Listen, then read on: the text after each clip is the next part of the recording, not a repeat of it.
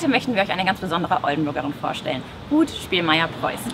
Sie ist mehrfach deutsche Meisterin im 400-Meter-Lauf, aber auch international eine erfolgreiche Leichtathletin. Sie war 2016 in Rio bei den Olympischen Spielen und 2021 in Tokio. Heute ist sie bei uns hier in Oldenburg und zeigt uns ihre Lieblingsorte. Deswegen stehen wir hier vor der Grundschule in Wimmerstede. Ja, hier hat eigentlich alles mit dem Sport angefangen. Ich war immer ein Kind, das viel rumgerannt ist, Bewegungsdrang hatte und meine Sportlehrerin aus der Grundschule hier in Wimmerstede hat mir dann empfohlen, mal in den Leichtathletikverein zu gehen und Leichtathletik mal auszuprobieren. Wir hatten ja früher mal die Bundesjugendspiele. Da hast du sicherlich auch teilgenommen. Warst du da immer die Beste? Ähm, Im Sprinten auf jeden Fall. Ich glaube, da bin ich dann schon aufgefallen. Das hat mir auf jeden Fall total Spaß gemacht. Ähm, so andere Sachen wie Ballwurf waren eher etwas schlechter. Ähm, ja, aber das ist auf jeden Fall so ein bisschen ein ausschlaggebender Punkt gewesen für mich, dass ich gesagt habe, okay, ich gucke mir das mal an. Wie ist das in so einem Verein? Macht mir das Spaß? Und ähm, ja, bin dann irgendwie dabei geblieben. Wir stehen jetzt hier vor dem Schliefenplatz. Ruth, du hast dir gewünscht, dass wir auch hier vorbeikommen. Welche Bedeutung hat denn der Trainingsplatz für dich?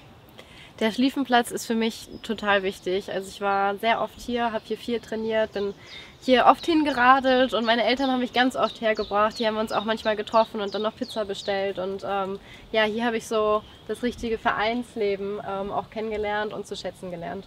Du hast wahrscheinlich unzählige Stunden hier auf dem Trainingsplatz verbracht. Wir wissen ja, es hat sich gelohnt. Hm, was würdest du denn sagen, ähm, was war dein schönster Titelgewinn bisher?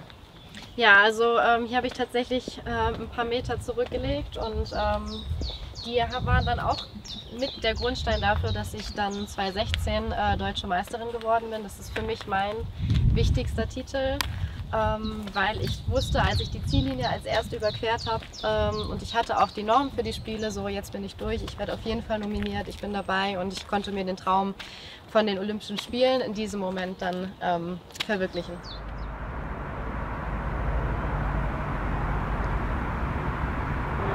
Jetzt sind wir im Marschwegstadion. Für Ruths Laufkarriere auch ein ganz wichtiger Ort. Ruth, was verbindest du mit dem Marschwegstadion? Welche Erinnerungen kommen hier für dich hoch? Ich bin hier im Marschwegstadion tatsächlich einen meiner allerersten richtigen Sprintwettkämpfe gelaufen, damals noch über 50 Meter. Ähm, und ich weiß noch, dass ich eine knallgelbe Radlerhose und ein knallgelbes T-Shirt anhatte, was ich jedes Mal zu Wettkämpfen anziehen wollte in der Zeit. Und das war auch der erste Wettkampf, wo ich gewonnen habe und danach gesagt habe, ja, das macht mir richtig doll Spaß, das möchte ich gerne weitermachen. Okay, also warst du ziemlich auffällig unterwegs. Ja, auf jeden Fall. du hast ja super viel Zeit verbracht auf dem Platz und beim Training. Wie war das so mit Freizeit und Freunden? War das nachteilig für dich oder hat es dich nie gestört? Natürlich hat man mal ähm, Familienfeste oder irgendwelche anderen Feiern verpasst oder musste früher gehen, konnte Aktivitäten nur halb mitmachen mhm. und musste irgendwie auch ein bisschen andere Sachen mitbedenken, also dass man mhm. fit war fürs Training am nächsten Tag.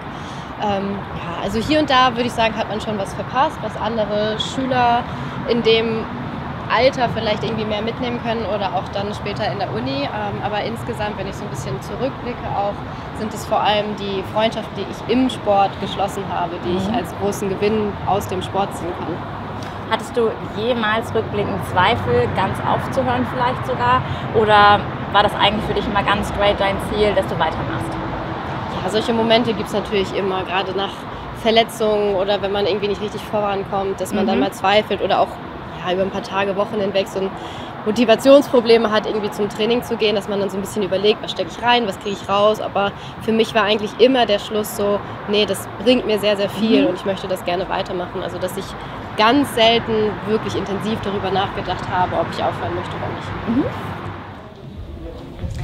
Wir sind hier in Ruths Lieblingsgasse in der Oldenburger Innenstadt, was ich auch sehr gut verstehen kann, weil sie ist wirklich super schön.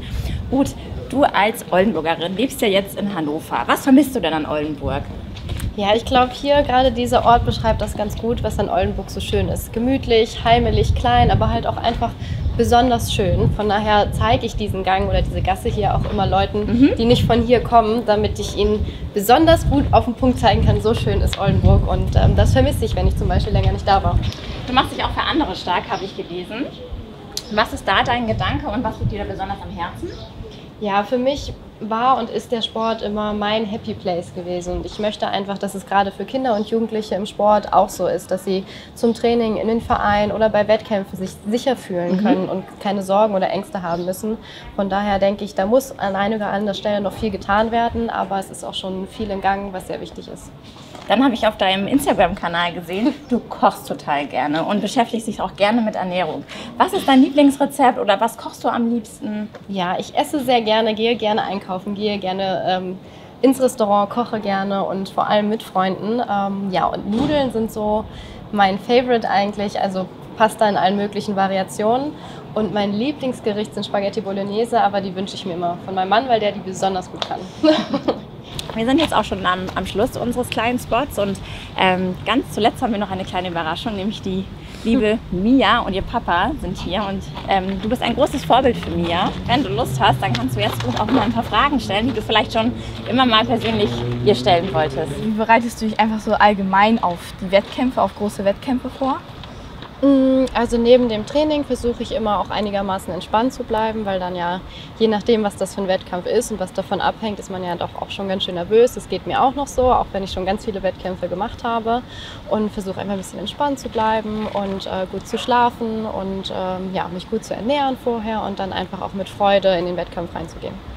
Du warst ja bei den Olympischen Spielen in Rio. Mhm. Und was war das für ein Gefühl, als du da eingelaufen bist? Ja, ich war tatsächlich ähm, einfach super, super froh, da zu sein, überhaupt es geschafft zu haben, weil das für mich ein Kindheitstraum ist, wirklich von, von klein auf, weil mir meine Eltern schon erzählt, dass ich immer gesagt habe, ich will mal zu Olympia.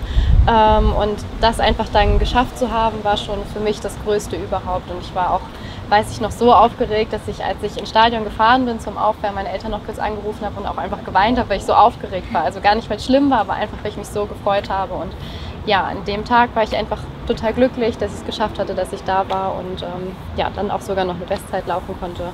War also, ja, alles ist zusammengekommen, wie es sollte.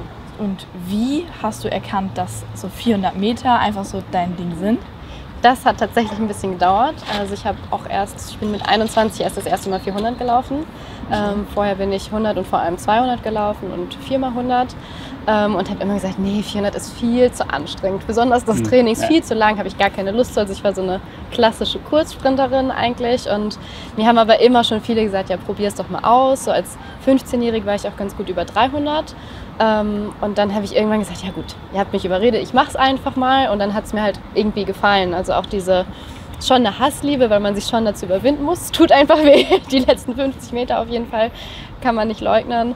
Ähm, aber immer wenn ich ein hartes Training oder auch einen harten Lauf überstanden habe, bin ich auch stolz auf mich, dass ich mich dem gestellt habe. Mia, wie war das denn für dich jetzt so, mal Route live zu sehen? Ja, ich äh, finde das natürlich richtig toll. Ich bin ein großer Fan von ihr und ihr jetzt auch einfach mal so persönlich Fragen zu stellen, ist die Welt für mich. Schön. Ja, Ruth, ich bedanke mich auch ganz herzlich, dass du heute mitgemacht hast und wir so einen schönen Tag miteinander hatten. Ja. Und euch natürlich auch. Und ähm, ja, alles Gute. Ich kann mich auch nur bedanken bei dir für die auch tollen Fragen ähm, und für den kleinen Rundgang durch Oldenburg heute. Und dass ich euch treffen konnte, war auch super cool und auch deine Fragen waren, waren sehr schön.